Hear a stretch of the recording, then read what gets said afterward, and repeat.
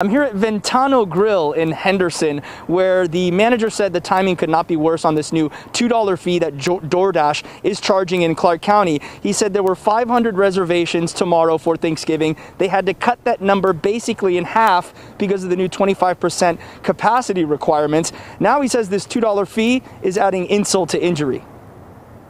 A $2 Clark County fee imposed by DoorDash is not sitting well with restaurant manager Michael Mongalot. Well, I think it's ridiculous. Um, you know, on top of their, you know, everything else that they charge and the, the amount of money that they're adding on to get the food to a customer. Now they want an additional $2. Clark County Commissioner Tick Segerblom tweeted his response to the fee, saying DoorDash is misrepresenting the county. The biggest problem right now is it says Clark County fee $2.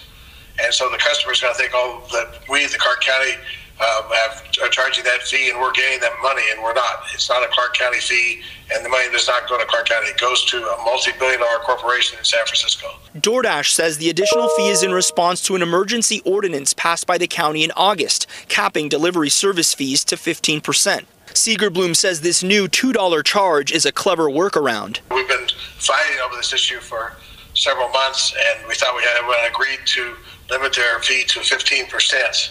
Um, and looking at it a little closer, it looks like they may have the ability to charge separately uh, to the customer alone in a statement to Fox 5, a DoorDash spokeswoman said in select cities where lawmakers have imposed pricing regulations, DoorDash is considering various measures necessary to offset the unintended consequences of these policies. In some cases, this means charging customers an additional fee when they order from restaurants in their city. DoorDash says it is not misrepresenting the county, and the fee is explained when customers click on it. If they want to stick with this, uh, they're going to feel the pain. It's ridiculous. I'd rather not use them as a third party vendor. I'd rather use somebody that doesn't do all those charges, like Slice.